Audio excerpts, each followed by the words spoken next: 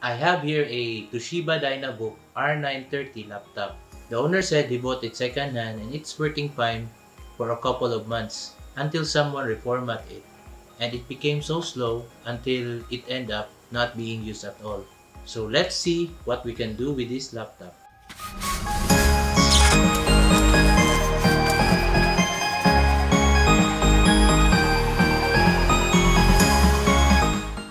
This laptop has a third generation Intel Core i5 3320M processor.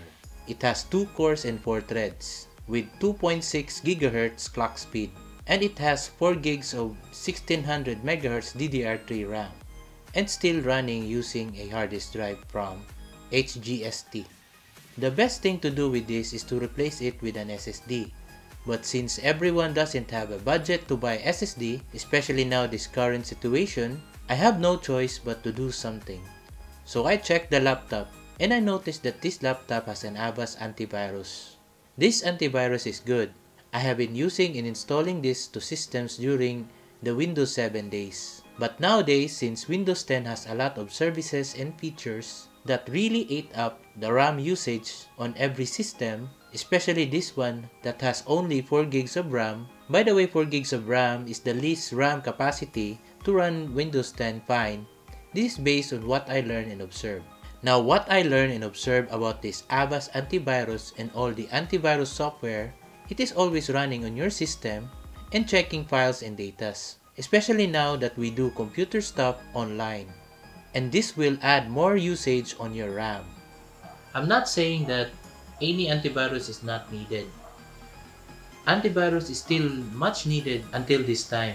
Or this third-party antivirus like Avast, AVG, etc. is sometimes too much for your system having only 4 gigs of RAM. But Windows 10 has its own antivirus, which is Windows Defender.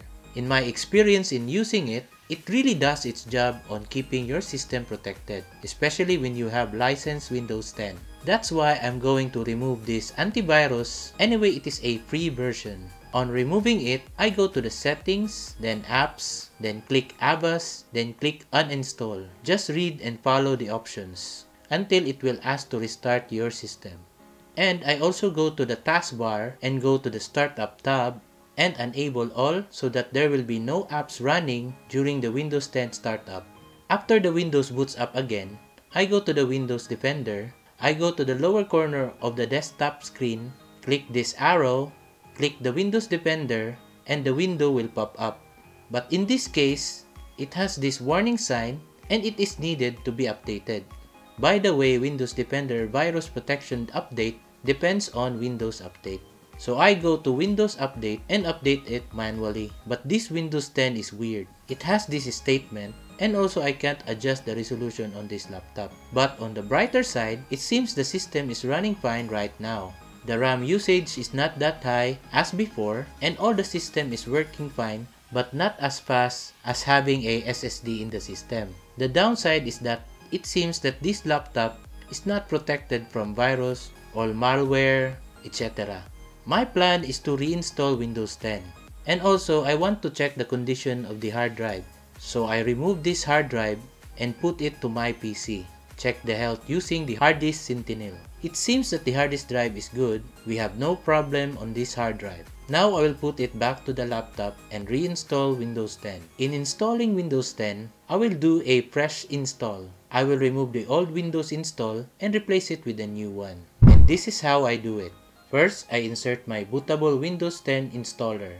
And watch this.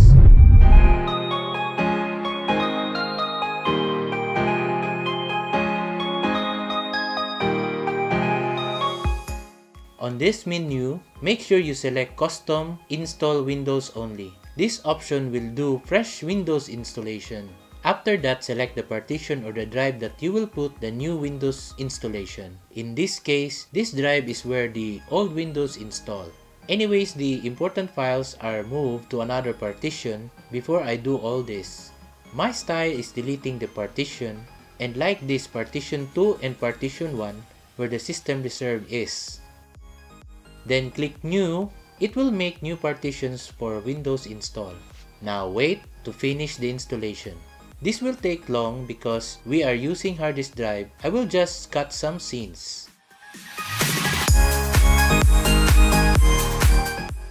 Now here in this menu, this is very important to make your Windows 10 fast. This is turning off the optional service because if you turn this on, it will add more RAM usage on your system. Anyway, these services is not that needed. I only leave this option, find my device, turned on because this laptop might need it in the future in case this laptop is lost. Now let's wait until the installation is finished. After the installation is finished and programs installation, I go to the task manager by right-clicking the start menu and click task manager. There I go to the startup tab and disable programs and leave only Windows Defender enabled. So it will start its protection during the startup. The purpose of this is to avoid more programs loading on startup and also avoid longer loading time. Now the laptop is doing fine and I use OBS to capture the display in real time. It is not as fast as using SSD in the system, but it will do. Even though this laptop is not meant for gaming, but I want to stress test it to see if it has thermal throttle. Anyway, there are a lot of ways of stress testing the system. But I just want to stress test this using games.